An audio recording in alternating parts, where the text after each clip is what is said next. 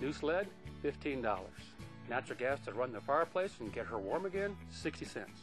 Natural gas, it's still a good value, and we're working hard to keep it that way.